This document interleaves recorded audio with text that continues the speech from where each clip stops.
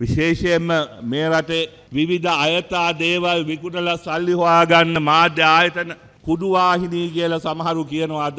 මේ රට තුළ මේ ජාතිවාදය අවුස්සන්න පැය විසිහතරම කටයුතු කරන. විවිධාකාරයේ දේවල් කියනවා. විනාඩි තිස් දෙකෙන් පසුගේ ද බන් දවසක් ඔය ටීවියක බලන්නකොට විසි හතක්ම මුස්ලිම් විරෝධී ප්‍රවෘත්ති. ආණ්ඩ විරෝධී ප්‍රවෘත්ති මහිතන අය මුස්ලිම් අයට විරුද්ධ නිසානමේ මේවා දාන්නේ. ඒ අය හිතනවා මේකෙන් ලොකු ප්‍රශ්යක් ඇති කරලා මහ කෝලහාලයක් ඇතිකරොත් එක්සත් ජාතික පක්ෂයට මේකෙන් පහරක් වැදේ කිය. ඔන්න ඕවයි අපි හොඳින් දැනගන්න ඕන. එක්තරා වෙබ් අඩවියක් තියෙනවම නමුත් මේවා ඉස්සරහදී ඒ පොහොට්ටුවේ දේශපාලඥයෝ මම් සමාවෙන්න මෙතට දේශපාලනය කතා නොකර බෑ අවසානයෙන් හෝ.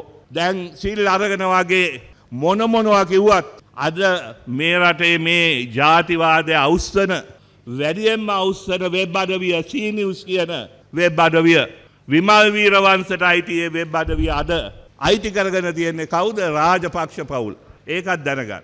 අනේ නිසා තමයි විශේෂයෙන්ම අපි තමුන්නාන්සලාගේ ගිල්ලන්නේ. අපි අන මාර්ගය හරි බාධක ගොඩක් තියෙනවා නමුත් ඒ බාධක මැද්ද අපි විශාල ගමනක් ඇවිල තියෙනවා. අපි UNP